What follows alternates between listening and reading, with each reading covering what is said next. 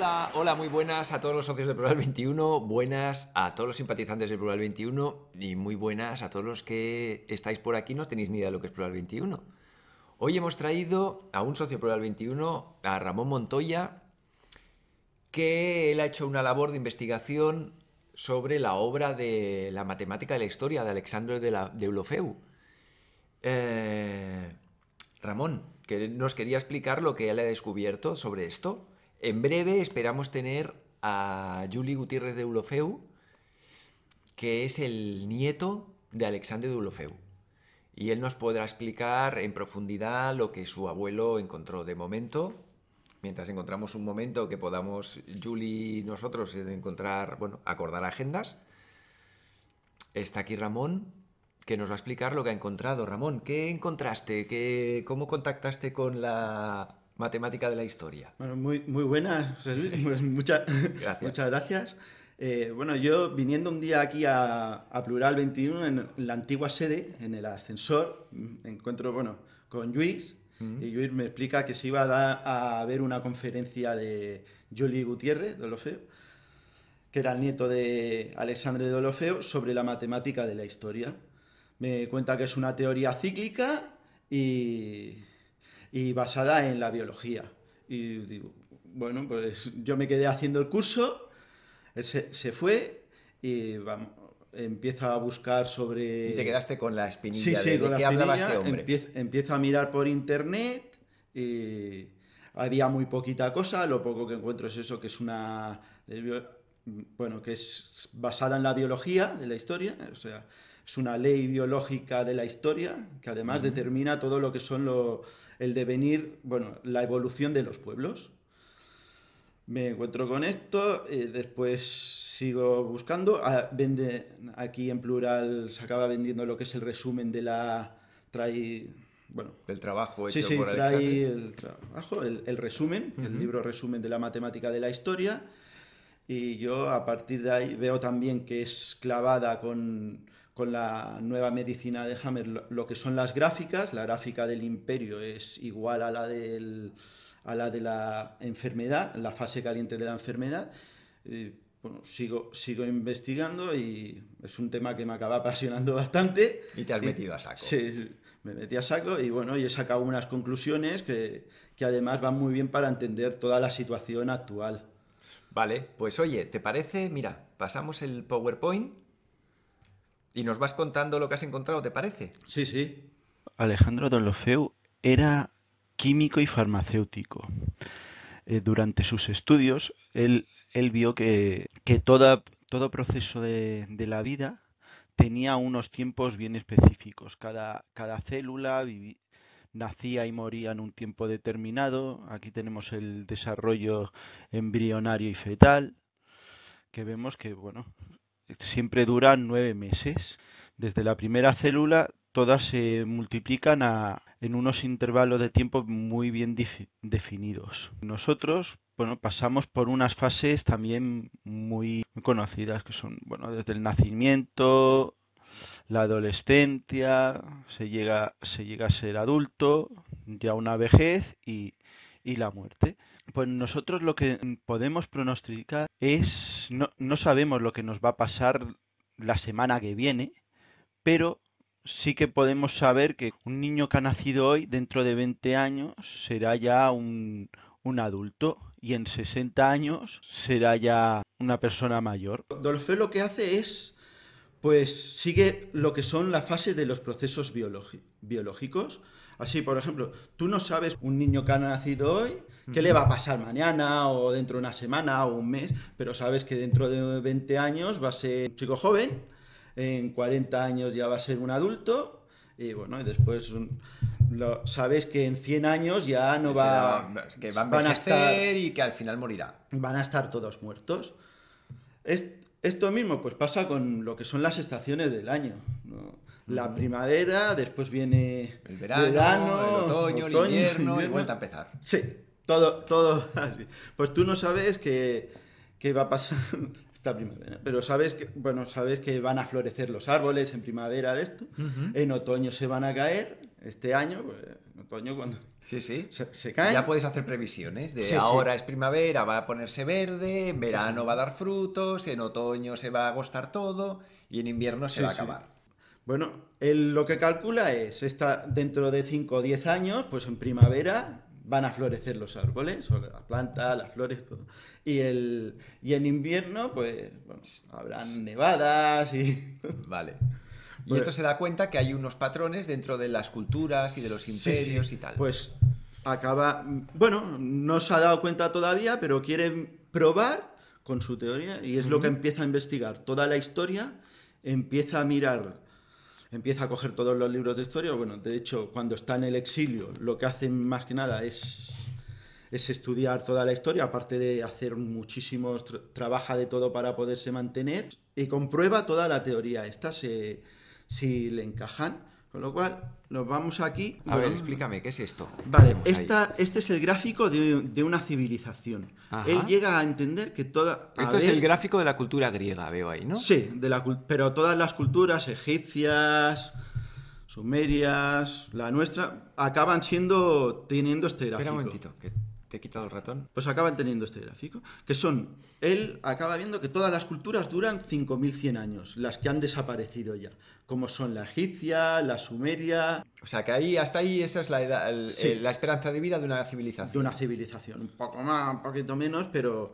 Vale. Y, y acaba viendo que hay tres periodos, o tres ciclos, como le queramos llamar, de 1700 años. Pues estos tres ciclos de 1700 años, pues volverían a ser como si fuese una persona de, que pasa por sus tres fases. Vale, espera, perdona, ¿eh? que, es que yo soy muy espeso. Entonces, de aquí, esto hace así. Sí. Y esto sería el primer ciclo de... 1700 años. Vale, luego hay otro ciclo. Segundo ciclo. Que llega hasta aquí. Otros 1700 años. Y luego hay otro ciclo, espérate, que se ven nuestras caras. Ahí. Y luego hay otro ciclo que va de aquí sí. ahí. 1700 años. Y estos a su vez están divididos también en... que hay una subida una época de y una bajada. De fraccionamiento, que es la creación, y otra que de unificación imperial. Sigue. Pues es, hay tres partes. Los 1700 años primeros serían como la, niñez de las civilizaciones. Aquí normalmente acaban lo que son las, las culturas, copian de la que está en el, en el periodo de esplendor. El, el periodo este de esplendor es un, bueno, como nosotros que ahora estamos, que es la cultura nuestra es la románico-gótica, somos lo que estamos, pues, de nosotros se copiarían ahora las culturas que están empezando a venir. Las culturas que empiezan a nacer lo que hacen es copiar patrones de las culturas establecidas previamente. Y eso sería la infancia, que sería lo primer. El primer. Sí, sí. Altibajo que se ¿no? los, primer ciclo. los primeros 1700 años, el primer periodo de 1700 años, esto es la infancia. Bueno, ahí están, el griego copió de, de la cultura egipcia, a su vez de la sumeria, nosotros precisamente, bueno, nosotros seríamos de la cultura griega. Nuestros padres, como aquel dice, sería la cultura griega. Vale. Cada cultura tiene ya su desde, desde un inicio una personalidad propia, pero en el inicio pues es una copia muy fuerte, como un niño que le estás explicando que, Se, copia de los padres. Sí. Vale. La segunda el periodo, 1700 años, es la época de creación. Aquí es donde todas las culturas hacen su, su máximo esplendor crean su, propia cultura. Nosotros la románico-gótica, eh, los griegos pues hicieron la cultura clásica, los chinos pues en su periodo salen la, bueno, la cultura china, todo les... O sea, que sería la madurez de la cultura. Sí. Que hay una primera fase de infancia cultural donde te copias patrones, tal, y estableces unos, una base sobre la que a partir de ahí, en el segundo ciclo, te expresas y empiezas a sacar cosas, ¿no? Sí, sí. Y el último ciclo de 1700 años son los que van de que ya sería la vejez, sí. La vejez de la, cultura. Ahí estarían ahora los chinos, por ejemplo, que los chinos, los griegos, que si ves, siguen teniendo su propia cultura, Pero ya es decadente, diría. Sí, ya es decadente y, ves cómo están copiando, bueno, que prácticamente toda la cultura, todo lo que hacen es como si se fuese la nuestra. Si te vas a China es todo occidental. Sí, sí, sí. Te vas a Japón, es... bueno, estos estarían en la primera fase. Estos serían los niños. La, la mexicana también, que ahora ya prácticamente de maya no existe nada. Quedan la griega también, por ejemplo, ya prácticamente ya no hay griega. Están la India también, están en su periodo ya de acabar. les quedan a estas culturas que se, hicieron más o menos a la vez, ahora están terminando todas. O sea, ya, han hecho sus 5.000 años de, prácticamente, de, vida. Sí, por ejemplo, ahora tenemos el siguiente. Esta es la, el gráfico de la cultura mexicana. Son tres ciclos, 5.100 años, él calculó que en el 1800 acababa. Pero bueno, todavía queda un remanente de que se está terminando el último imperio. O sea, lo que es México se va a tener que fragmentar dentro a lo mejor unos 100 años. Esto los mismos mayas ya lo calcularon, si te fijas. No, no conozco nada de los mayas. No sabes el, bueno, el, calendario, maya, de 5125 que acababa en el 2020, 2012, sí, algo así. Dijeron, pues es eso, ellos calcularon su cultura que se... Su ocaso. Sí, el, el ocaso de lo que era su cultura, que después iba a seguir otros ciclos. Bueno, calcularon hasta un ciclo de, de ciclos, ciclos de 5.100 años, que eran unos 26.000, me parece, cosas así. Sí, este es el proceso oscilante. Esto, bueno, eh, Dolofeo lo llamaba la ley de los dos pasos adelante y dos. Eh, ah, o sea que dentro de cada. En la gráfica que hemos visto hace. Dentro de cada grafiquita hay una subgráfica, además. Sí. Eh, pero eso pasa en todo lo que son los procesos biológicos. Sí, sí, sí, sí. Pues avanza más rápidamente y después parece que para que tiene un retroceso. Aquí vemos el, no sé si es el de Atenas o el así, de Atenas el proceso de Atenas que va a, bueno, a golpe, primero adelanta un poquito más, conforme va subiendo en la época creadora, no es continuo, no son procesos lineales. Y aquí el gráfico, todo un gráfico de, de todo un ciclo de 1700 años. Y aquí, bueno, esta está sacada, es una gráfica del libro de, del Testamento de la Nueva Medicina, que vemos cómo se superponen todos los, los ciclos. Vale, entonces lo de abajo sería de, ya de la nueva medicina germánica. Sí, bueno, ya él ya lo había sacado de otro libro, que son, bueno, son procesos que se superponen ah, uno a otro. Nosotros dentro del cuerpo, pues por ejemplo, tenemos dentro de lo que es el día y la noche, pues va sucediendo que se nos pone la cortisona por la mañana, bueno, después por la noche la melatonina, todo esto se van, van sucediendo y son... Superpuestos a el estar despierto y estar dormido, ¿no? Que hay... Vale, vale. Y al final hace, bueno, como si fuera una gran orquesta, todo el... Todos los, los músicos tocan cada uno su, su parte y al final hacen una gran obra. Me había pasado el proceso evolutivo de 1700 años. En la gráfica, los valores positivos serían la libertad individual y colectiva, y social y política, la libertad de pensamiento y el proceso cultural y artístico. Y como valores negativos, la pérdida de libertad social y política, y la decadencia del poder creador. Ya que pongo, pongo nuestra carita. Explico igual. Que he quitado antes. Vale, dime. Esta es, aquí vemos la gráfica del ciclo evolutivo de 1700 años. Tenemos unos primeros 600 años que son de gran fraccionamiento democrático, o sea, los pueblos están todos desagrupados, pueden crear confederaciones y demás, pero cada pueblo es aparte. Esto para, para que nos hagamos una idea, por ejemplo, ¿eh? en la antigua Grecia, ¿qué sería? Que se empiezan a generar ciudades. Ahí está. Sí, Dentro de Grecia empiezan a formarse ciudades, ¿no? Y cada ciudad va a su bola. Sí, sí. Igual que en, nuestro ciclo, lo que se le ha llamado Edad Media o así, que también se empiezan a... Ah, los feudos de cada señor. Los feudos, sí. Al principio, bueno, se crean primero unos, unas grandes familias, en, lo que sería el primer ciclo. Serían unas grandes familias la familia va creciendo y eso, y acaban habiendo problemas como internos y se separan. estas personas al final acaban haciendo como asambleas Y es, y es la época que quizá hay una democracia que es realmente plena. Todo lo que te suele explicar Félix, Rodrigo. Sí, Félix Rodrigo Mora. Pues de la, comu o sea, esto, esta parte sería lo que estar, Félix Rodrigo Mora señala como la baja Edad Media sí, y el, la Revolución Bagauda, entiendo, ¿no? que es que los pueblos se, se autogestionan y cada pueblo va a su rollo. Básicamente sería esta primera etapa. Sí, sí. Pasa en la antigua Grecia que toda su democracia plena y demás. Que... Y que cada ciudad se autogestiona. Sí. Vale. Pues estamos aquí y una vez llegamos aquí ya, bueno, tenemos la primera 650 años, la segunda son 1050 años, que es la época de gran unificación política. Aquí es donde se, los pueblos pues, se, crean los imperios. Pasa por una fase de decadencia democrática, después una fase que tiene el poder absoluto, se, parte el, el primer imperio y después ya acaban habiendo ser, señores y esclavos, que es como, bueno, más o menos lo que estaba la Unión Soviética cuando se termina ya el ciclo. Bueno, y o sea, también. caben más o menos un par de imperios y no... Vale, espera, entonces déjame, ¿eh? Para hacer...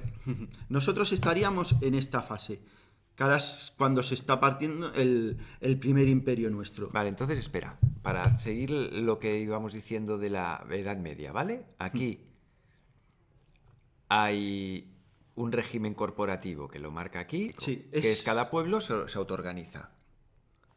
y luego poco a poco empieza a ver, se va girando hacia un poder absoluto, entiendo. Sí, que es además en el primer ciclo, en la, la, parte de la aristocracia de la riqueza, primero es aristocracia imperial. Que, es, que es, bueno, los antiguos imperios que habían terminado, si empezamos por ejemplo aquí, hemos acabado el ciclo este, pues del, antiguo imperio quedan remanentes. Los dirigentes que han quedado de, ahí acaban teniendo el poder, que es la aristocracia imperial o feudal. Estos se van desganando, cada vez se van partiendo y acaban antiguo siendo... régimen sí. empiezan a perder poder, mientras que la, gente... la nueva civilización joven sí. se empieza a autogestionar. Hmm. Pero ahí está la rémora de lo, de lo antiguo. Sí. ¿Vale? Que entiendo que es esto de aquí, ¿no? ¿Dices? Sí, sí. Vale, vale. ¿Y entonces? Pues una vez llegamos aquí, la, bueno, la ley, las gentes que han aquí van, van cogiendo cada vez más poder. Ahí hay, hay algunos que llegan incluso a tener riquezas y acaba habiendo una aristocracia de la riqueza, una burguesía, que aquí le llamaríamos. Vale, pero es una burguesía. Que, y, es la que acaba cogiendo poder tiene, ah, y llega a la democracia. Y algunos, bueno, pues.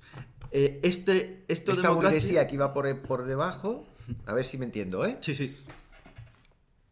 El antiguo sistema se, eh, sigue a su rollo, va, va acumulando poder, mientras que los pueblos se van autogestionando. Pero sigue por debajo aquel antiguo sistema que tiene su poder. Y llega un momento que emerge, ¿sería esto? Bueno, se, acaban creando de, lo que eran los, los, pequeños, la gente más pobre, hay una, una parte que llega a una gran riqueza. Ajá, vale. Sí, y entonces... Y se genera la aristocracia esta. Y, y en esto pasan dos siglos y medio más, y aquí la democracia acaba teniendo como una corrupción. Bueno, acaba unos que quieren más poder, otros... Hay... Acaba habiendo una diferencia muy grande de la gente que es pobre a la que es rica. Y esto pues acaba llevando a unas guerras. Por, la, por la riqueza, por el poder. Se acaba creando lo que es un imperio. Hay una, hay una ciudad. bueno, la ciudad se acaba creando, hay una que, que le pide ayuda a otras ciudades. A empiezan las ciudades a interconectarse entre ellas. Sí, porque tiene, tiene muchos problemas. Una, una de ellas acaba teniendo que no, es incontrolable, le pide ayuda a otra y es cuando se acaba creando el, imperio. Esta, esta, esta, primera ciudad que ayuda acabará teniendo lo que es el poder más que nada militar y político. Vale, vale, vale, vale. O sea, entonces sería más tarde o más temprano alguna de esas ciudades que, se han, que han empezado a crecer de modo autogestionado, de, independiente, con su propio sistema democrático, una de ellas empieza a pedir ayuda a las demás. Y empiezan a, a pelotonarse. O sea, empiezan a interrelacionarse entre ellas y a actuar al unísono. Y aparece un poder militar, diríamos. Sí, no, en las ciudades hay una, no, que acaban habiendo muchas luchas internas y demás, y una de esas facciones que eh, hay, bueno, que por el poder que se quieren de esto, pide ayuda a, un, a una ciudad externa. Y esta ciudad es la que viene y es la que se va a acabar siendo la ciudad imperial. Vale. La que se va a convertir en, capital. Y estos además no... Con que van pasando gentes y luchas para, para las otras... Para los otros pueblos, mm, no, ellos no entran en lucha interna con ellos mismos, se la saltan. Y bueno, van creando ellos cada vez más riqueza, porque claro, lo que ellos ayudan, pues acaban recibiendo en especies, bueno, en todo lo que... Hay un retorno. Sí, sí. yo te ayudo a cambio de qué. Y, ahí es cuando se acaban formando los imperios. Tenemos un primer imperio y después un segundo imperio, con fases caóticas, desintegraciones. ¿Y esto sería el primer ciclo de los tres que cada imperio tiene? Vale, espera, entonces déjame que, me he perdido yo aquí, ¿eh? Entonces, quizá... Ahí. Aquí. Sí, no sé muy bien. Estos serían tres... Serían tres olas como esta. Esto sería una parte. es lo que te decía antes. Ok, y esta sería. Un ciclo de, 1700 años desde los. Que es. Ahí. Estaríamos viendo un ciclo de estos. O sea, ¿no? Luego después vendría otro de estos y luego otro de estos. Hmm. ¿Vale? Entonces, para que yo aclararme, ¿eh? Esto corresponde a esto. Sí, a una Hasta, hasta, aquí. Vale, vale, vale. Después hay otro igual que eso los tres son más o menos, siguen el mismo proceso. Sí, sí, esto sucede en, la infancia, sí. luego sucede en la madurez, y luego en la vejez. Vale, ok. Los tres ciclos son iguales. es que este es el que quizá el concepto que más me. Lo entiendo mucho, pero me falla el explicarlo. Sí. Vale, ningún problema, tranqui. De aquí. De aquí, a ver si en dos o tres semanas podemos traer a Julie y que nos lo explique a saco. ¿Vale? Tú, tú vestirán. Bueno, tenemos lo que es el proceso imperial. Este, este sí, bueno, una vez se han generado aquí el... Espera, que vamos a hacer una cosa. Si quieres, después el otro lo, lo volvemos a... Tira. Al inicio de los imperios, los pueblos que lo conforman, uno de ellos tiene muchos problemas internos, desigualdad entre ricos y pobres y luchas entre facciones por el poder. Y una de estas facciones pide ayuda exterior a un pueblo vecino este le ayudará y será el que acabará tomando el poder militar y de política exterior. Esto pasó así, por ejemplo, con la boda de los reyes católicos, formándose así el imperio español. Al principio todos los pueblos interiores siguen conservando sus leyes. Esta será una fase completamente federal. Con ello empezará el primer proceso agresivo. Aquí es donde todos los imperios consiguen sus colonias, como el imperio español el imperio inglés, el francés, etc. Todos se amplían enormemente. Todos aquí es cuando empiezan su gran expansión. Una vez llegan al límite de expansión, estos imperios entrarán en una fase de depresión. Ya no ganarán las batallas, irán perdiendo terreno, su población volverá a tener una gran diferencia entre ricos y pobres, y esto nos volverá a llevar una gran guerra por el poder entre las dos facciones, y por la independencia de los pueblos. Esta guerra civil suele ser el punto más bajo. Aquí, por ejemplo, tenemos la Revolución Francesa. En España tenemos la guerra de 1714 con Felipe V. En Alemania la Primera Guerra Mundial. Una vez finalizada la guerra, el imperio estará en lo más bajo. Parece que no va a sacar cabeza. Pero un gran dictador se pone en manos del imperio y parece que nadie lo va a detener. Por ejemplo, tenemos a Hitler, Napoleón, Carlomagno, Julio César. Para detener a estos generales se acabarán juntando todos los imperios de alrededor y otras naciones para poder combatirlo y al final sufren una gran derrota. Esta derrota será momentánea, pues el imperio volverá a tener su esplendor, pero ya no tendrá más ansias de expansión y entrará en un periodo de paz. Eso sí, las naciones que lo componen el imperio perderán personalidad, el pueblo dominante impondrá su cultura y su lengua y entrará en una fase conservadora. Solo luchará ya para conservar sus fronteras. En esta fase está ahora Alemania.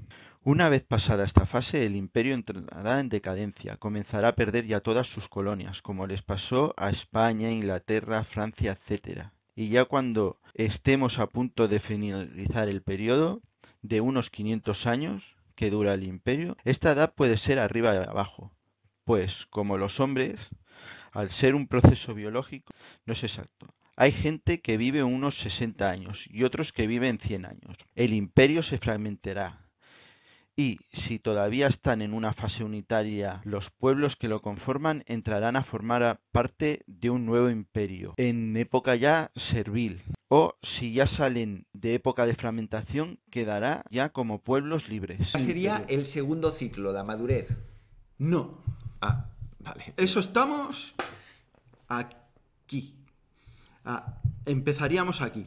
Esto ya ha pasado lo que es la, la, parte época de gran esplendor del crío, diríamos. Y empieza lo que es la, época de unificación política y imperial.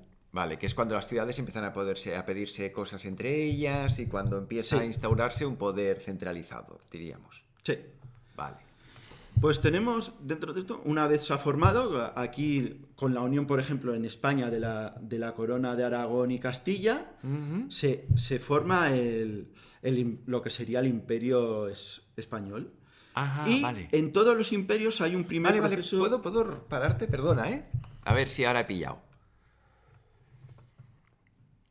Hasta aquí sería diferentes pueblos de la península.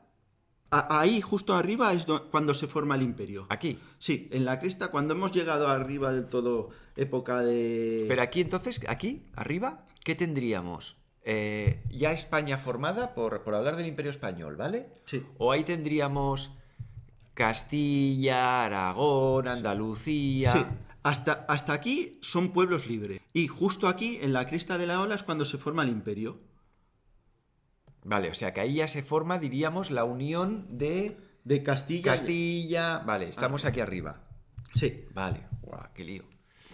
Vale, tenemos en todo imperio, una vez se ha formado, pues o sea, el puntito este bajo de aquí se corresponde con el punto alto que hemos visto arriba, antes. Sí. Primer proceso agresivo. Esto siempre es cuando hay una gran expansión. Aquí es cuando se forman las colonias. El imperio español empieza a colonizar, bueno, todo lo que fue América, eh, el inglés igual, empieza a tener sus colonias, el, el, el francés también pasa lo mismo, todos se expanden. Y esto siempre es una fase federal. Los pueblos que, lo conforman siguen teniendo sus propias leyes. Tienen sus lenguas. Vale, todo... que sería, para hacer un paralelismo, ¿eh? Pues se han fusionado, o sea, hay un sujeto que es rey de Aragón, y los aragoneses van a su rollo. Rey de Navarra y los navarros van a su rollo. Rey de... Conde de Barcelona y los catalanes van a su rollo. Conde, eh, rey de Andalucía y los andaluces van a su rollo. ¿Es esto? Bueno, por ejemplo, sí, sería una cosa así. Fase federal. Tienen sus leyes, sus lenguas, sus costumbres. Y, lo que es la capital, o sea, la ciudad imperial, la que... Esta, esta solo, solo tiene lo que es el poder militar y, político. Estados Unidos estaría ya en una gran depresión. Todas las guerras y todo las pierde y cada vez hay un desequilibrio entre lo que son ricos, pobres, cada vez hay mayor desigualdad. ¿Esto en el caso del Imperio Español? ¿Qué sería? ¿El equivalente a? justo antes de 1700, estaban en depresión. Ahora veremos el proceso imperial del, del español, pues ves, va Felipe III, Felipe IV está en depresión. Hasta Felipe II ha habido un, aumento de, todas sus colonias que, se ha ido expandiendo. Después va bajando, tienen una depresión. La diferencia es tan grande entre esta gente de ricos y pobres que se forma lo que sería una triple guerra civil. Por, que sería por el poder entre, entre dos facciones que quieren el poder, entre ricos y pobres, y además pues, los pueblos se quieren independizar. La planicie está de abajo, ¿vale? Aquí coincidirían tres tensiones diferentes. La tensión de los poderosos que se quieren repartir el pastel entre ellos y ahí se dan de hostias. Sí, sí. Luego están pobres y ricos que se dan de hostias para ver si se reparten el pastel de otra manera. y luego está eh, diferentes pueblos que quieren seguir autogestionándose y no pueden. Sí. Por ahí va, ¿no? Pues eso es la, las tres tensiones simultáneamente. Sí, sí. Y acaba, pues, que nosotros tenemos la guerra de 1714. Eh, el imperio francés, por ejemplo, tiene la Revolución Francesa. Eh, Alemania, por ejemplo, tiene la Primera Guerra Mundial que ahí, bueno, se acaba juntando. Bueno, acaban. Hay incluso otros imperios que quieren Meter invadirlos y todo. Y una vez ha llegado al mínimo, parece que el imperio ya se va a desintegrar. Pero surge lo que es un gran general. Como Hitler, tenemos, bueno, en Alemania fue Hitler, en Francia Napoleón, en está Carlomagno, Aníbal, eh, vale, siempre aparece un líder militar que coge y lo, agrupa todo. Nosotros aquí tuvimos al cardenal Alberoni, que es justo con Felipe V. Había. Eh, bueno, hay un cardenal que empieza ahí a, expandirse otra vez el imperio. Comienza a conquistar otra vez. Que es lo que hace. Parece que no se le puede parar, como a Hitler, que parecía que no se le podía parar pues aquí se, acaban juntando todos, todos lo que son... Salud. Gracias. Se, acaban juntando diferentes pueblos para poderlo vencer. Y acaba siempre teniendo un desastre militar, los acaban venciendo. ¿Qué sería? La Segunda Guerra Mundial en el caso de Hitler. Sí, la Segunda Guerra Mundial en el caso de Hitler. ¿Y en el caso español? En el caso español, Alberoni aquí, al, eh, Felipe V, al ver que se la está liando mucho el Alberoni, lo, destierra a, a Italia y, intenta meter paz. Ahí tenemos la guerra de Napoleón también. Eh, parece que ya va, otra vez el imperio va a capa caída, pero en nada sus gentes vuelven a, subir y ya pasa lo que es la plenitud imperial. Que esto es como se encontraría ahora eh, Alemania. Alemania. Ellos no quieren lo que es eh, ninguna guerra, ya no han tenido suficiente de guerra, intentan siempre ya tener una paz. Nada, ellos ya se quieren conservar como lo que han sido, como, lo, como están y no, bueno, vale, en el caso español, ¿esto qué sería el equivalente? Esto, bueno, lo vemos aquí y tuvieron desde Carlos III hasta, hasta, Isabel II, por ejemplo, y después ya empieza lo que es una fase de decadencia y desintegración. Aquí en la fase de decadencia, pues es cuando empiezan a perder todas sus colonias. Vemos que es, España perdió sus colonias, eh, bueno, Francia también. Inglaterra también. Inglaterra también. Sí, esto, bueno, lo que. Eh, esto fue un pronóstico ya que hizo Deulofeu. Todavía no habían empezado a perder ninguna colonia, ni Francia ni Inglaterra. pero ya, dijo, este ya en, el 40 empezó a diciendo ya que estos empezaban a perder sus colonias. Y hasta, bueno, hasta que llega a una desintegración vale. Aquí se desintegra, que es como ahora estamos nosotros. El imperio español estaría a punto de fragmentarse. es lo que le ha pasado a la Unión Soviética. Ah, Estaban al, final de todo, de su ciclo, y se acabaron desintegrándose. Todavía a lo mejor lo que es Rusia tiene que acabar o se puede crear una confederación. en el caso de la Unión Soviética estaríamos ya en la última parte. A final de todo. Vale. Sí.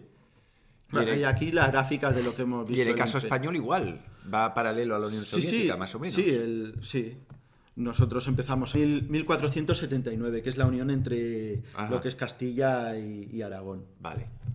Ahí se juntan y Olofeo hace que, bueno, dice que los imperios siempre tienen una duración de unos 550 años. arriba, abajo. Es como las personas que unos duran 60, otros, otros 100 pues al ser un proceso biológico, pues tiene esa pequeña variación, pero son siempre 5 o 6 siglos. Ah, y ahí tenemos el proceso francés. 550. por, eso, por eso dijo que en 2029 se, se, iba a fragmentar España. Y bueno, también lo pronosticó de la Unión Soviética, que sobre En el 2029 Deulofeu pronostica la... atomización de España. Sí, también lo pronostica. Porque ya está al final de la, del todo. Sí, sí. Vale. Está, empieza ya a estar casi al final. Aquí vemos bueno, el cuadro cronológico de los imperios. Voy a sacarnos a nosotros. Ahí, vale. Sí, bueno, esto es para que se vea más o menos que todos han durado entre 500 y 600 años, todos los imperios. Pero hay que tomarlo como es un proceso biológico. Esto no lo veían y veían unas partes que a veces duraban más, otras, otras menos, pero Dolofeo lo hace como un proceso biológico que tiene estas dos fases. Y estas dos fases siempre duran esto, unos 550 años. Y esto es lo que pronostica. Eh, el primer proceso agresivo, por ejemplo, y la depresión, en la primera fase, esta, esta primera fase no puede pronosticar cuánto dura, pero sabe que si la primera fase ha durado, por ejemplo, 200 años, la segunda durará pues hasta 550 años, que son unos 350, ¿no? 200 más si, ha durado 400 años la primera al final, fase. Todo esto tiene que durar en torno a 500. Sí, en torno a 500, 600 años. Entonces, lo de los 5.000 años que hemos dicho al principio. Eso es la, civilización entera. Ah, vale. Esto es un imperio. Vale, vale, vale, vale, vale, vale. Sí, sí. O sea, dentro de cada civilización hay tres veces esto. Sí. Vale, vale, vale, ahora te pillo. Ok. Vale, los rusos estarían. Eh, vale, aquí no lo tenemos. No, los rusos ya acaban de finalizar. Vale, ¿y los americanos? Los americanos estarían aquí, en la depresión. Si vemos, ya no ganan guerras ni, nada, ¿no? Están, están que como se descuiden, se les puede liar una, triple guerra civil. Que sería, para repetirlo, ¿vale?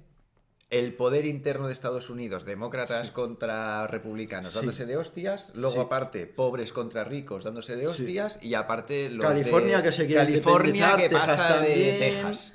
Sí, Texas también se quiere independizar. Vale, Y aparecen esas tres tensiones simultáneamente y Estados Unidos está al borde de eso. Sí, si lo saben hacer bien, que parece que van mitigando esto, parece que cada vez se va retrasando más, pues pueden pasar de una fase a la siguiente sin haber tenido las guerras estas. Y podrían llegar a una plenitud imperial sin, necesidad de derramamiento de sangre. Sí. Vale. ¿Y se ha dado esto? ¿Que no haya habido que lo hayan hecho sin hostias?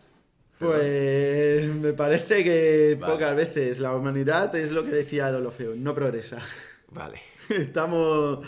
Está ahí. Pero conociéndola es lo que quería Dorofeo llegar a una paz mundial, que pudiésemos tener unos ciclos parecidos a lo, que tiene Suiza, por ejemplo. Que Deulofeu decía, oye, que yo me he dado cuenta de que esto ocurre así, si sabemos que va a ocurrir esto, no entremos a saco y nos demos de hostias. Era esto, ¿no? El pensamiento de Deulofeu. Esto mismo. Vale, vale, vale. Y bueno, pues aquí tenemos la juventud y vejez de los imperios. Eh, esto he sacado, bueno, las hormigas, porque hay en un libro que era de sistemas. Sí. Teoría de sistemas de esto, pues que aparecen. Aparecen unas lo que son unas colonias de hormigas que, bueno, a través de un estudio largo, ven que la, colonia dura 550. Ay, 550 son los imperios. Duran 15 años. Las colonias de hormigas. Bueno, de, un tipo de hormigas y demás, en el libro este te lo explica, que duran 15 años. Y que no es lo mismo la, la, colonia cuando es joven que cuando es ya está llegando a los 15 años. Cuando es joven, esta colonia, en cuanto se encuentra con otra colonia de hormigas, otra hormiga, van a atacar. Van a ir, son muchísimo más agresivas. Y van a atacar. Y cuando son ya la colonia, la colonia ya está vieja. Está vieja, pues la hormiga, pues intenta bordearla y pasar de. Mm. de no, sí, eh, sé que siguen siendo hormigas igual, pero el comportamiento ha cambiado, la forma de estar. Pero es una hormiga, no distingues una de la otra.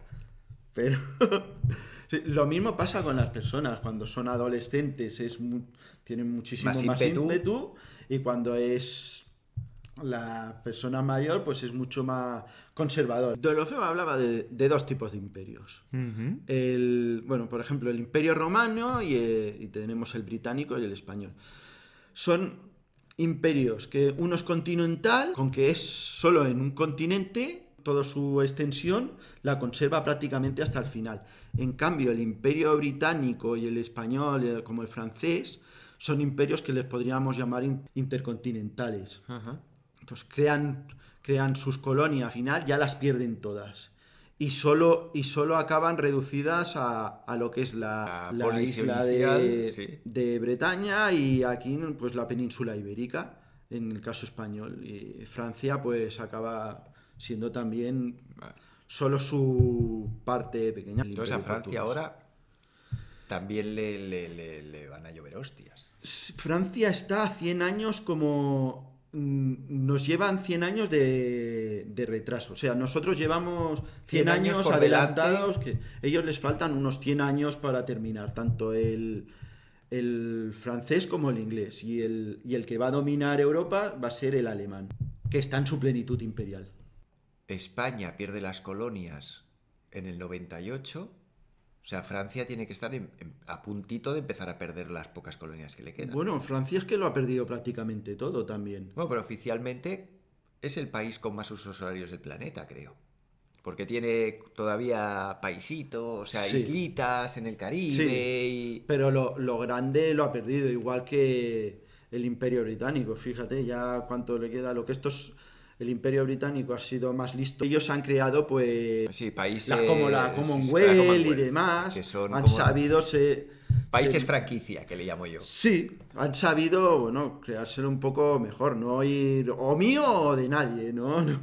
Ahora las corrientes creadoras. Bueno, esto es lo que habíamos hablado antes, que también es difícil de, llegar a estas conclusiones porque no pasan en todos los países lo mismo. Por ejemplo, eh, los imperios, pues el español se crea en 1479, luego viene el, Imperio francés, que son 100 años más tarde, el inglés es más o menos como el francés, pocos años más tarde. Luego el alemán. Después viene el alemán, que, ya es más tarde. Aquí, por ejemplo, las civilizaciones desde entonces, los que lo conocemos, la, bueno, las más antiguas que son en Sumeria, por aquí. Pero, perdona, ¿eh? que se corte, pero entonces Rusia Tendría que ir todavía con más retraso y lo, al contrario, va con más adelanto, ¿no?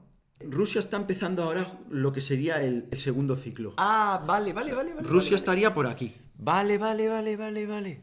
Hmm. Ok, ya, vale. Rusia Ha, hecho lo que era todo el, el o sea, está 1700 años de la niñez, como aquel que dice.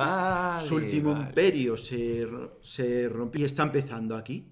Todo lo que son es, bueno, eh, lo que son los eslavos, que son, es esta corriente que se subdivide aquí. Vale, o sea, Rusia está acabando la primera fase.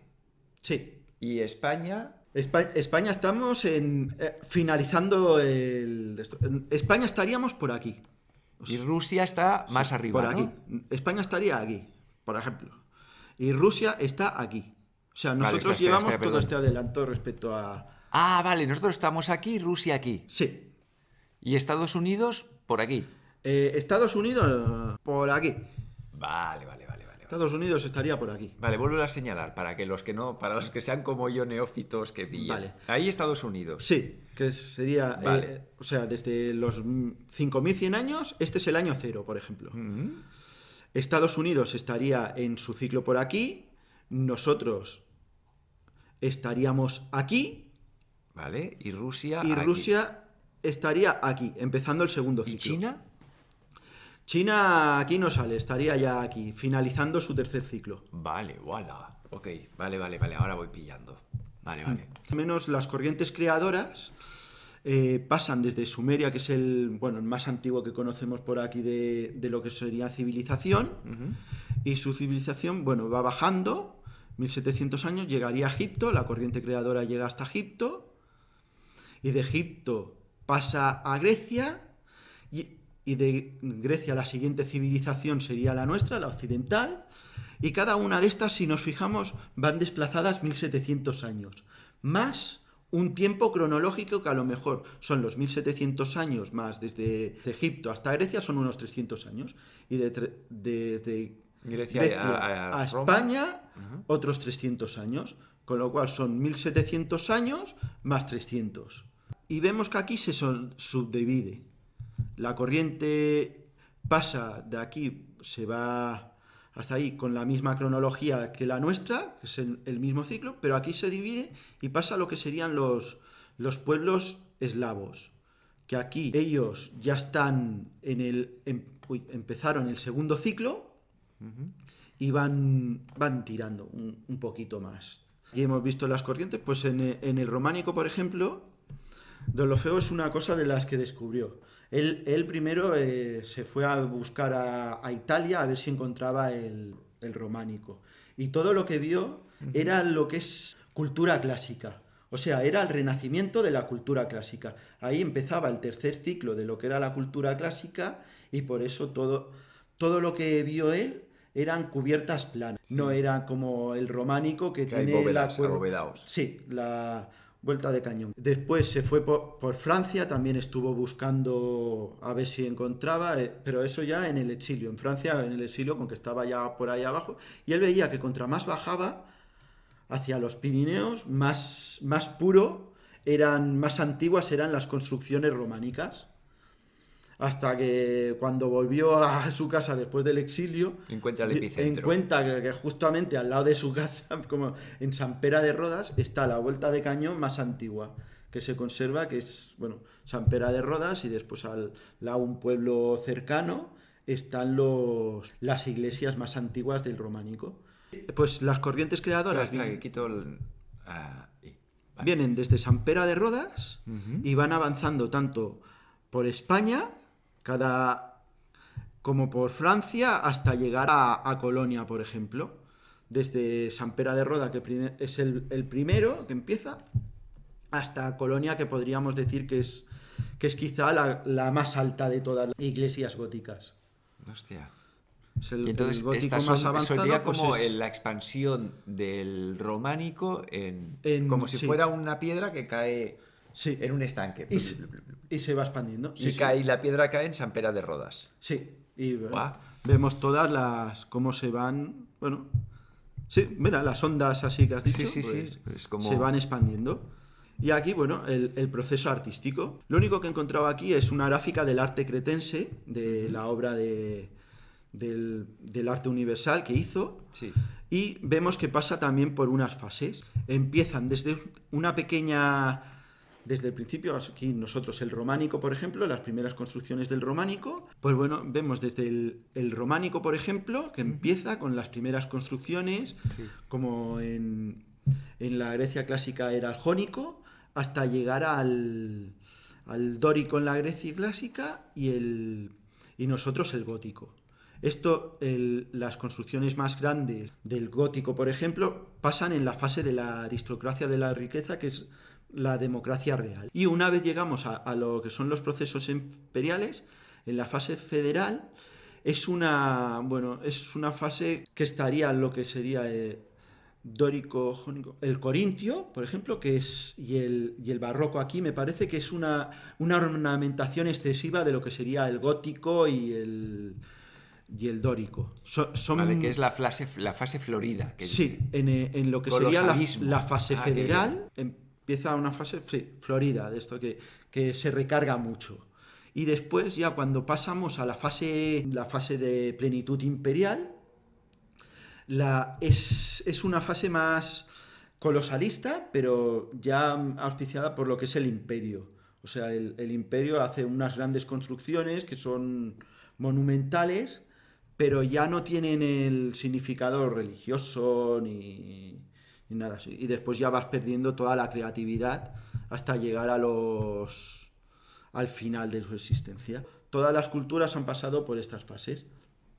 Bueno, aquí esto es curioso. Eh, proceso artístico, pero viendo el carácter. Pues vemos, bueno, todo. Toda cultura tiene un carácter propio. Y esto lo, lo, plasma en sus construcciones. Sobre todo lo vemos en las del segunda fase, que es cuando cuando tiene su... En la madurez de la cultura. Sí, sí, cuando tiene su madurez, pues vemos aquí en Grecia clásica, lo, el románico gótico y los egipcios. Pues cada cultura, según cómo es, pues tiene, tiene una forma de plasmar. De expresión, sí, claro. Eh, los griegos eran súper realistas, tenían una perfección súper realística. Todo, ellos no, no podían considerar el, el, más allá. Incluso sus, sus dioses... eran humanizados. Sí, eran humanizados y estaban pues, en el Monte Olimpo. Ellos los tenían allí, no, no se iban al más allá. Era, super, era una cultura súper realista. Los egipcios, si miramos, ellos eran de planos perpendiculares. Y estos miran hacia el infinito. No eran tan realistas, las figuras, si vemos, no son tan realistas, siempre tienen una simetría perfecta en los egipcios. Y nosotros pues estaríamos entre mirando hacia el cielo eh, con lo que era nuestra, nuestra vuelta de cañón y no estaríamos ni tan alejados como mirando tan al infinito como lo que eran los, los egipcios, ni, ni tan terrenales como los griegos. Sí, sí, sí ellos eran pues muchísimo más realistas los griegos. Y bueno, pues aquí tenemos el proceso filosófico. En la segunda fase de 1700 años tienen toda cultura tiene el mismo proceso filosófico. Al final de la primera fase, bueno, tienen un gran sentimiento religioso. Y llega un punto que empiezan a una fase teológica. Tienen dudas, pero quieren reafirmarse. Intentan demostrar a, partir de experimentos. Ven que no llegan a demostrar la... Bueno, no llegan a saber lo que son el...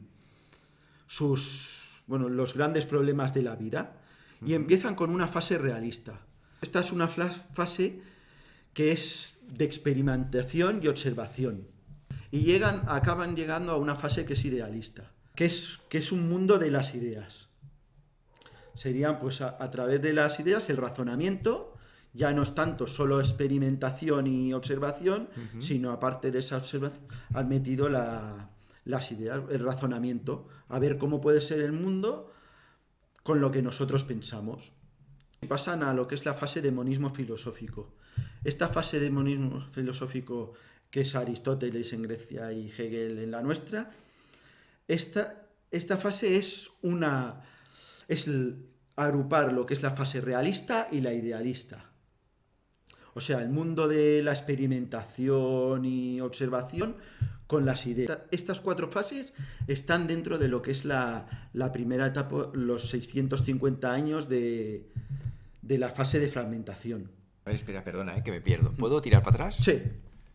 Aquí. Vale. Época de fragmentación y democrático, que es cuando se crea la ciencia y la filosofía. ah, vale, es aquí. Los, cuatro. Aquí se dan las cuatro fases. Las cuatro fases estas que hemos dicho, desde la teológica, idea, Vale, que es el crecimiento artístico, científico, filosófico. Sí. Vale.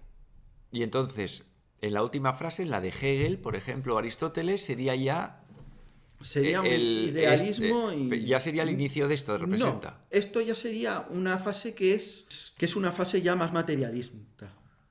Y, y una vez pasado esta fase de más pragmática, más práctica y todo, llegamos a una época que es de misticismo, que nos llevará a crear lo que son, antes de terminar el, antes de tres, ciclos, de tres siglos, nos llega a crear la religión.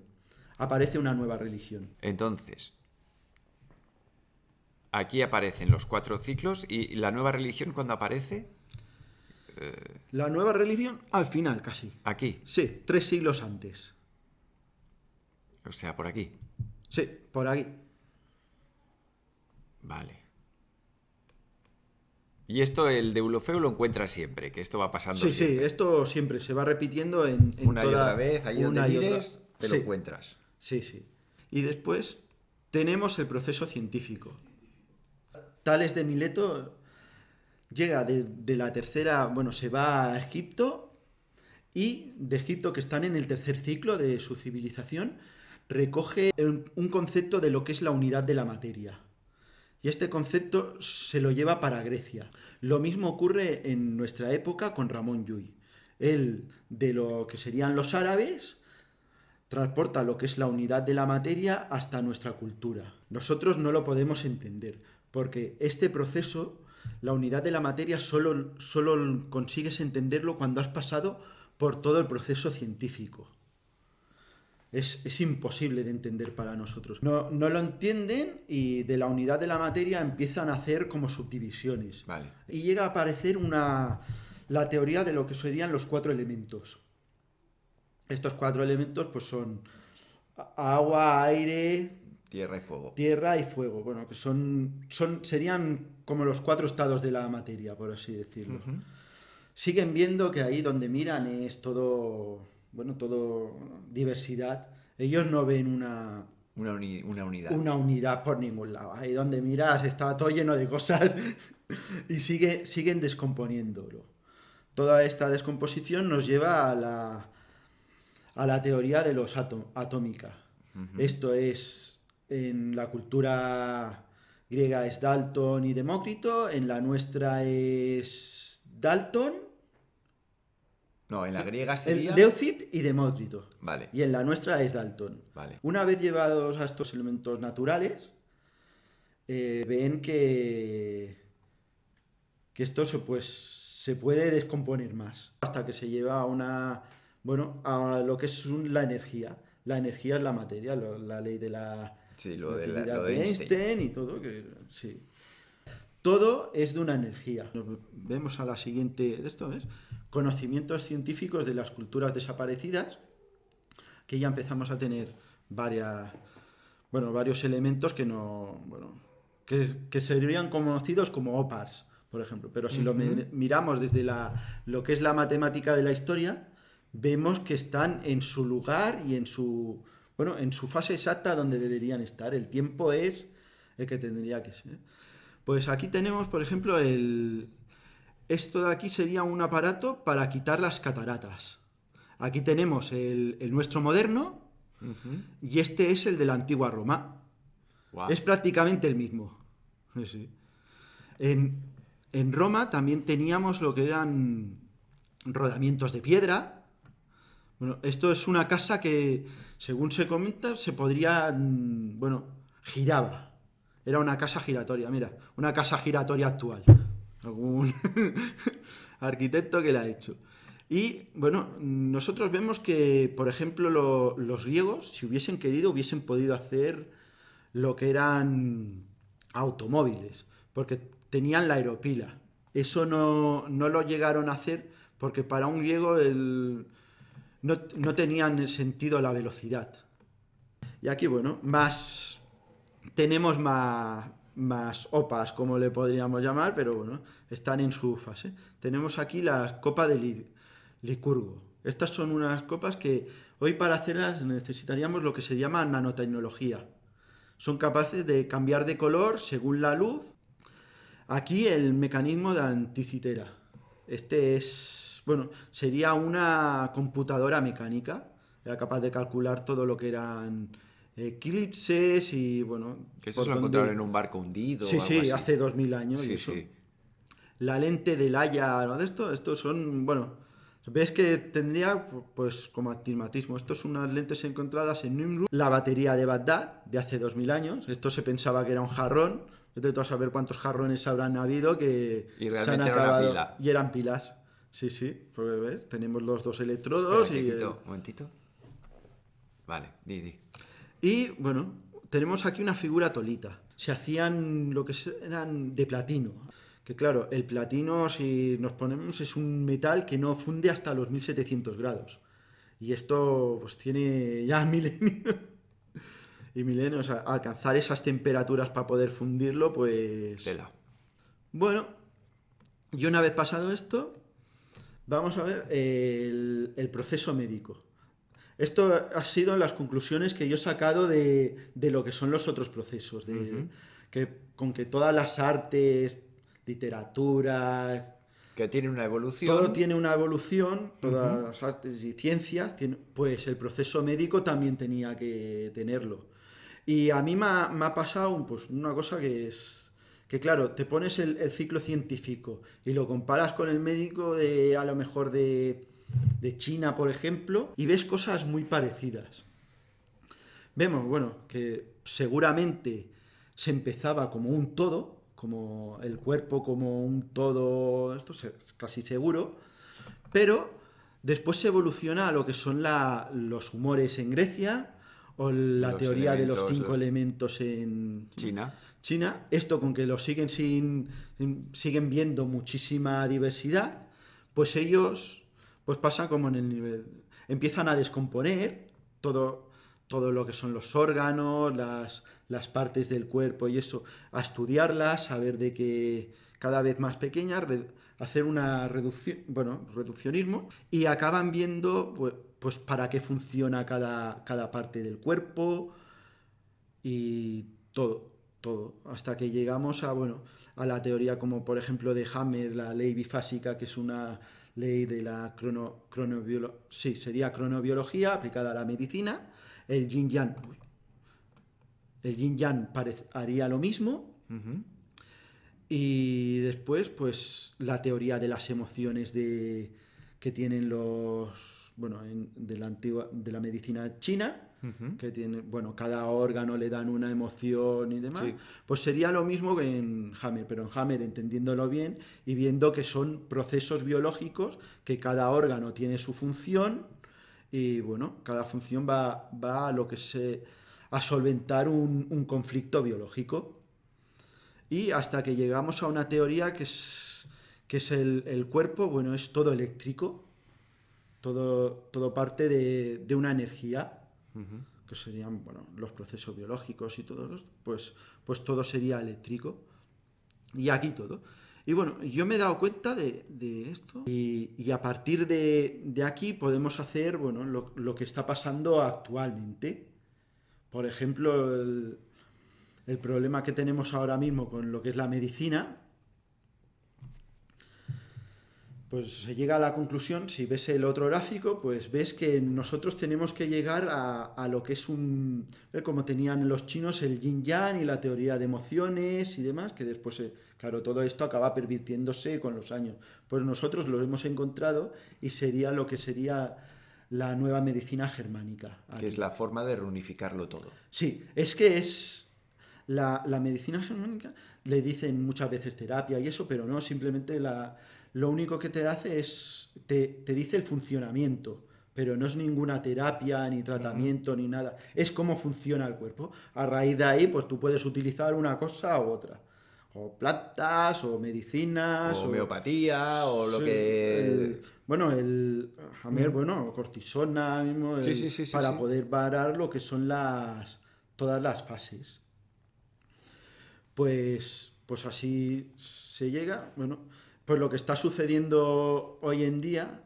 Pues esto, estamos viendo que nuestra medicina moderna ha llegado a, uno, a un punto en que no encuentra, no, bueno, no sabe realmente de dónde vienen las sí, Sí, se ha fragmentado todo tanto que no, no, no, tienen horizonte. Sí, no tienen. Por eso estamos dando bandazos y cada día te dicen evidencia de esto, al día siguiente no hay evidencia, en vez de decir que son hipótesis y que creencias más que nada en lo que pasa eso. Pues el que te dice bien, tiene que tenemos que llegar a esta a esta, bueno, a esa fase. Vale. de la historia, lo que es la fase de fragmentación y la fase de unificación imperial, tienen ahí una proporción áurea. Son 650 años de, fragmentación y 1050 de, de, unificación. Pues eso tiene la proporción áurea. Eh, empecé a mirar pues, otros procesos biológicos y, te acabas dando cuenta que, está prácticamente en todo. Todo tiene esta, esta, bueno, esta fase. Esta, bueno, aquí, bueno, aquí, bueno, el ciclo menstrual lo vi son 12, 12 días y aquí son 17 en total, pues esto te hace una, una proporción áurea. La fase esta de gráfico, en el, en el, en el bueno, en lo que es el, el embarazo, pues también los tres tres y pico, casi, tres, no sé si... Sí, la primera parte y la segunda. Sí, pues te hacen, bueno, cuando está formado entero, o sea, el feto hasta que se forma y después se, amplía. Pues más o menos es, es, una proporción bastante similar.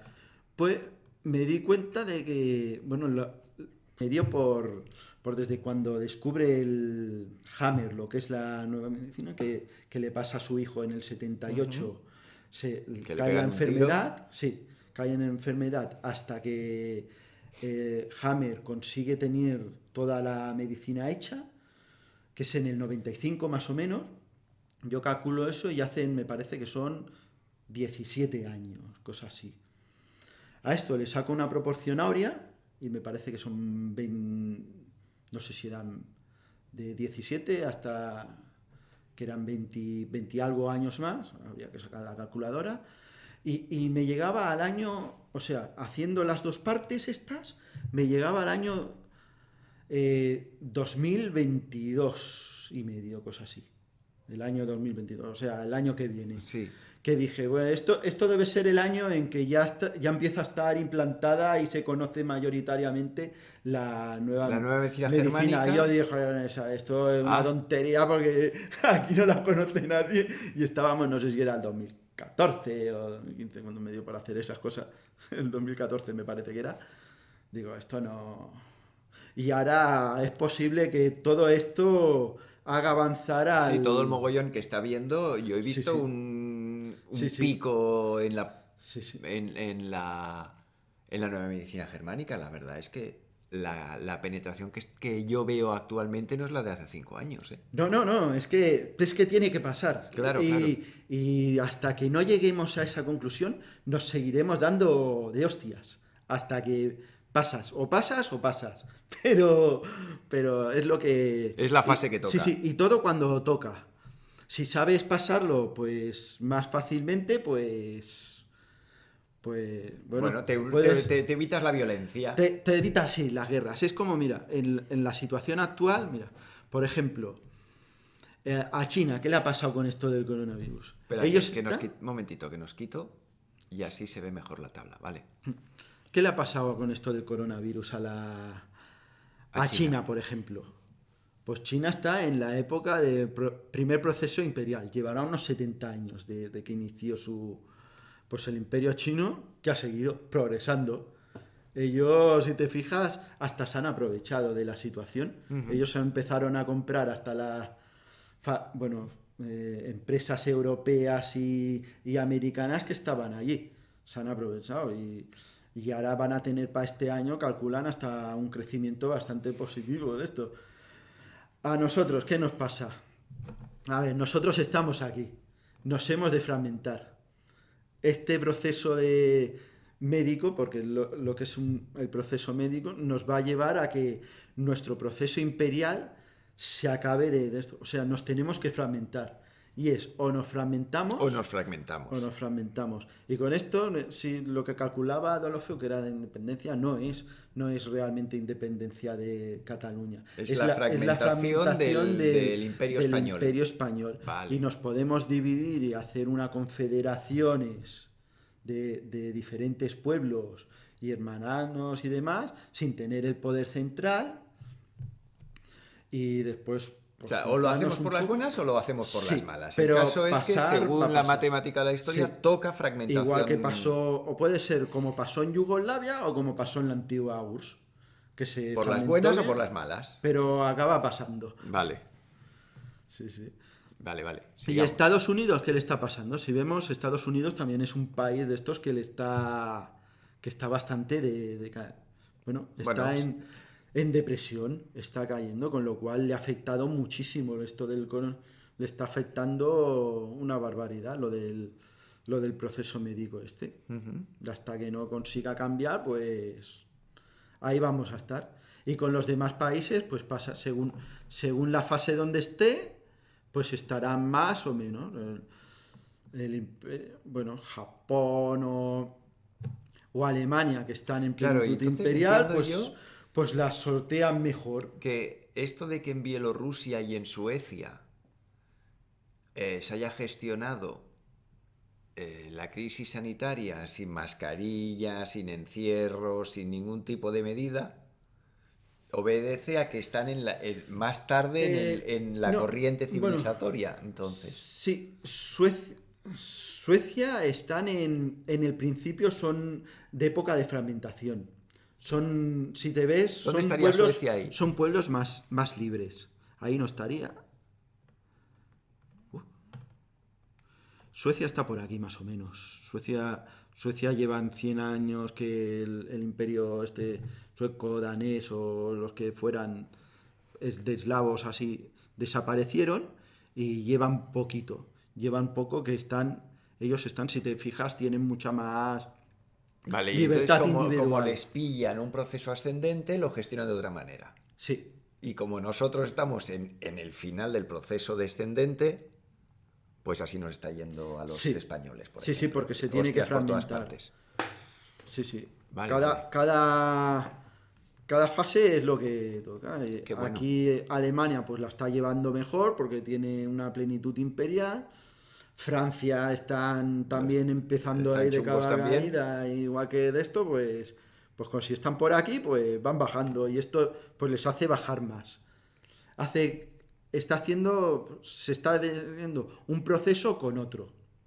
Está haciendo que se Sí, sí, sí, claro, claro. Ellos están en decadencia en el momento de la crisis sanitaria, mientras que otros están en ascensión en el momento de la crisis sanitaria. Entonces lo gestionan de, de modos diferentes. Sí. Vale, vale. Muy bien. Bueno, eh, y así. Eh, bueno, esto es la comparativa que yo hice entre el proceso imperial y la fase vagotónica de, la nueva medicina.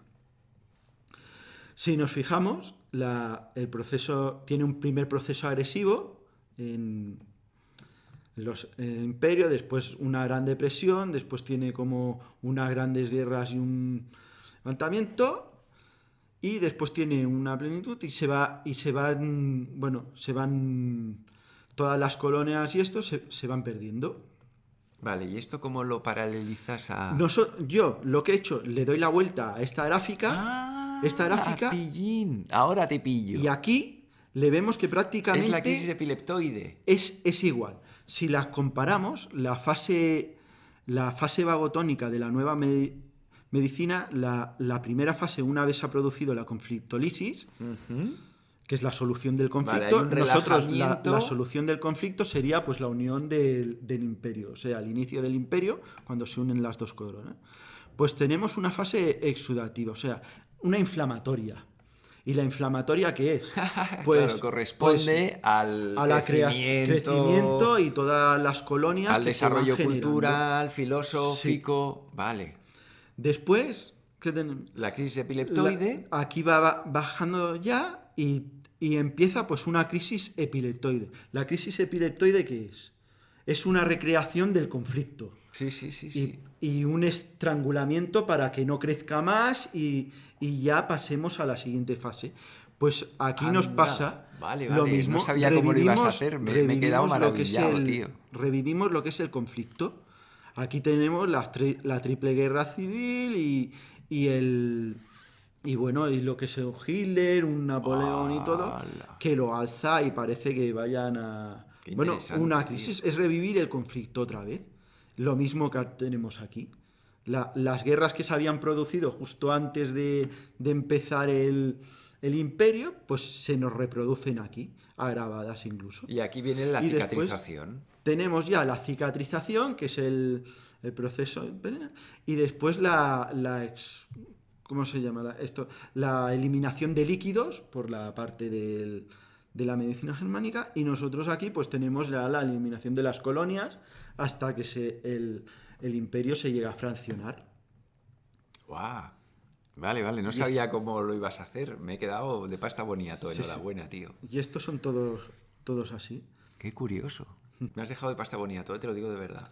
Y aquí tenemos, bueno, el ciclo simpático y vago de los procesos vitales. Es la, la misma comparación, pero ya con la gráfica de 1700 años. Es que, que lo que decía yo, que casi todos los procesos acaban teniendo una- unas cosas así parecidas de, de una fase simpática y otra vagotónica, bueno, una de, una de que se crea y otra que se hace más grande, como lo, pues, pues aquí tenemos dos, dos gráficas. ¿sí? Tenemos lo que es la gráfica de la temperatura. Sí. Eh, esta es la temperatura exterior, o sea, medida a través de la piel. Es por la noche es mayor y después tiene un, una, caída de temperatura durante hacemos el ejercicio, o sea, la temperatura interior nuestra es más de esto, pero la exterior cae y tiene un pico en la siesta que sube, que es cuando nos da la modorra y todo, y después ya vuelve a, a bajar. A bajar y ya sube otra vez por la noche y ya nos vuelve a subir. Aquí tenemos la actividad física. Pues, pues el ciclo este de actividad es por la noche estamos prácticamente bueno, dormidos, sin actividad, y por el día pasa, y por bueno, y la siesta, y otra vez tenemos un poco de actividad hasta que nos vamos a dormir. Pues en, en, lo que sería la, el ciclo de, de la nueva medicina, desde que se nos el inicio del conflicto empieza, empieza una fase simpático-tónica para poder hacer frente a lo que hay. Solucionar el conflicto, estamos constantemente en esto. Y una vez se ha solucionado, entramos en una fase ya de... ¿De, relajación? De relajación, bueno, sí, las fases estas que son de, bueno, de inflamatoria, ya para, para poder solventar lo que es la, bueno, la enfermedad, bueno, la restituir todo lo... La normalidad. La normalidad, sí. Todo lo, bueno, regenerar todo lo, que se ha con, con el gráfico aquí, que he puesto el gráfico del ciclo evolutivo de 1700 años, pues tendríamos una cosa parecida. aquí, por ejemplo, ¿eh? que esta, esta sería la época de creación o sea, gran creación y después la expansión. La expansión hay unas... Hay como unas bajadas que estas podrían corresponder a lo que son las, las crisis epileptoides en las civilizaciones, que son, bueno, las guerras estas tan... Sí, sí, las guerras triples estas. Sí. De pues todo el mundo contra todo el mundo. Estos, estos puntos serían así. Que sería la siesta. Sí, sería como la siesta. bueno, pero, vaya siesta, sí. depende cómo lo.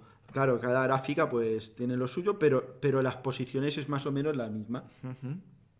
Y ya pues cuando volvería a estar en la plenitud y, ya acabaría.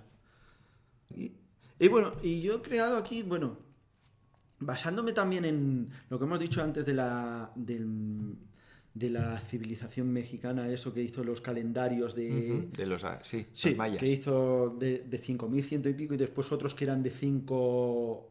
De 5 ciclos. De 5 ciclos de 5.000 y pico que suman unos 26.000. Estos tenemos el...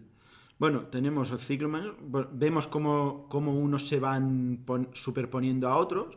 Aquí tenemos el de la egipcia, la cultura egipcia, después vendría la aquí me pasa. La griega que va debajo. La griega y después la nuestra. Se van superponiendo un montón de civilizaciones. Pues estas civilizaciones acabarían teniendo, pues, un, quizá un proceso, un ciclo mucho mayor, que es muy posible que fuera de 25.000 años o 26.000, como decían el, los mayas. Los mayas. Porque yo, he calculado que con esto de, bueno, el mismo proceso del, del número áureo, que debemos llevar unos 9.000 o 10.000 años desde que empezó la civilización. O sea, desde que éramos cuatro humanos hasta que vamos a llegar a un máximo, se calcula en el 2100, de unos, no sé si son 10.000, 11.000 millones de personas, y ya nos vamos ahí a estancar o incluso bajar un poco.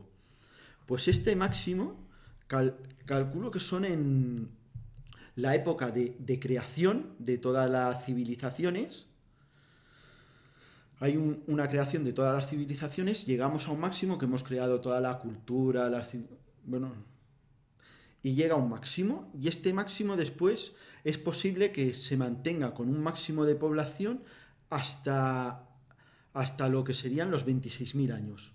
O sea, sería una fase simpático-tónica de creación de los 9.000, 10.000 años, que llegamos hasta que se, se concluye, y llega a un máximo de población y una fase vagotónica que, que se mantiene y después ya caerá, como todas las otras fases, de unos 15.000 o 16.000 años más. que esto serían un ciclo entero de unos 26.000 años, como hay algunas civilizaciones que parece que, que lo que lo bueno, que, que, hayan que hayan predecido esto. Vale, y esto, claro, ahora pienso yo. Igual que esto sería la juventud, sí.